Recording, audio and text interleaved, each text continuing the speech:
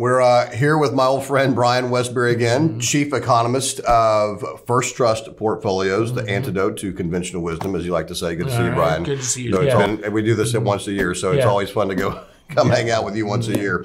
Let's get right into it. GDP came out this morning. Uh, it came in at 3.3, which blows away our forecast. Uh, by the way, it blew away every forecast. No one expected uh, GDP to be as strong as it was.